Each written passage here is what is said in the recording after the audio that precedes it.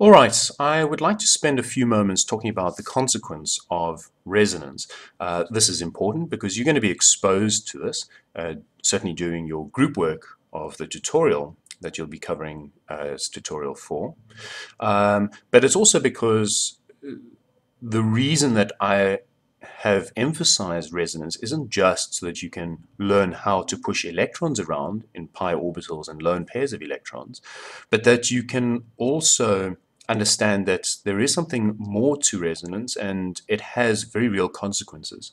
A good example to actually illustrate this is to look at the difference between acetic acid and ethanol.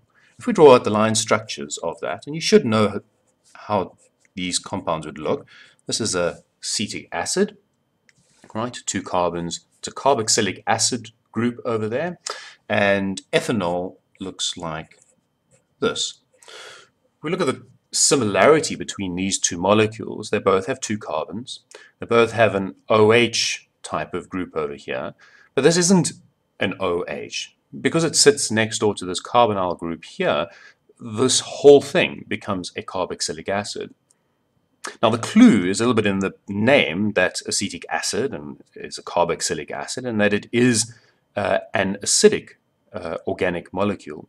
And the reason it's acidic is firstly, well, is primarily because of resonance.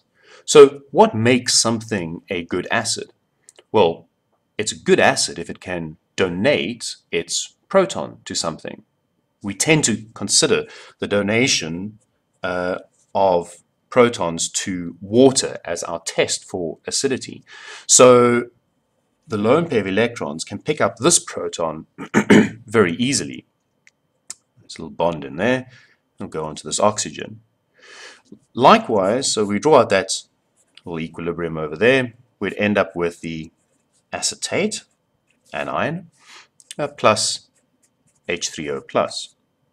With ethanol, if we had to do the same thing, uh, showing this happen, we have water, we draw out this equilibrium, we would get this product over here,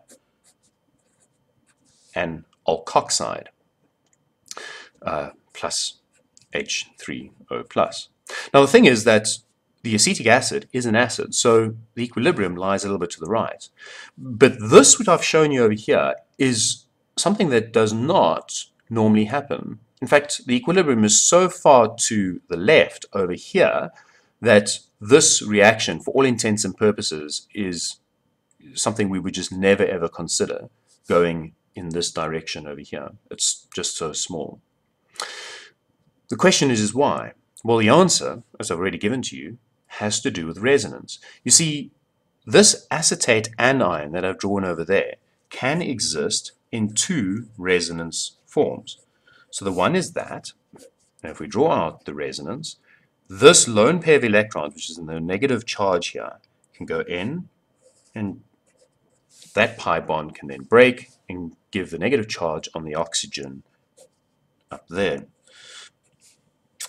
So if you are uncomfortable with pushing these electrons, you should go back and look at my other video and make sure that you understand using the skeletal structures in order to do this. And we can take, show this resonance going back, and so we would end up like that. So now, essentially, um, how does this all connect together here? Essentially, what is happening is that that negative charge is not sitting just on this oxygen. It's sitting on this oxygen and that oxygen through the resonance form. In other words, the negative charge is delocalized.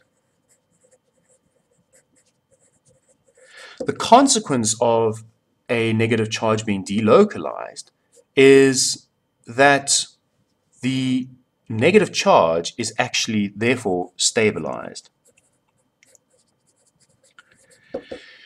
If the, now follow the logic here very carefully. If the negative charge is stabilized, all right, in other words, this negative charge is stabilized over here, it's going to be on this oxygen or this oxygen. It means that removing that proton is a little easier than if the negative charge is not stabilized. I want to say that again. Because the charge is delocalized and therefore stabilized, it is easier to remove this proton because in removing it, the negative charge that's remaining is more stable. Okay, so the reason that acetic acid is an acid is because by removing that proton, we get a negative charge which is stabilized. Ethanol is not an acid because if we remove this proton, this negative charge cannot delocalize anywhere. There are no pi bonds that it can break that this negative charge can move in. If it had to move in, it would have to break a sigma bond, and that's not going to happen. So this is one of the most important consequences, and it comes up in a whole lot of different flavors, um, and you'll be asked one in your group work. As a higher level question, though, just to see if you're paying attention, um, for those of you who are interested, can you tell me why this molecule over here, which is trifluoroacetic acid, why this one is more acidic. In fact, it's a lot more acidic than acetic acid itself.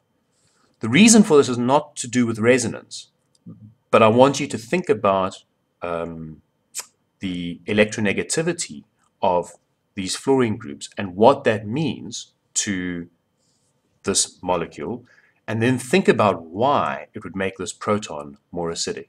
And you can come and speak to me about that if you want to know the answer. All right, good.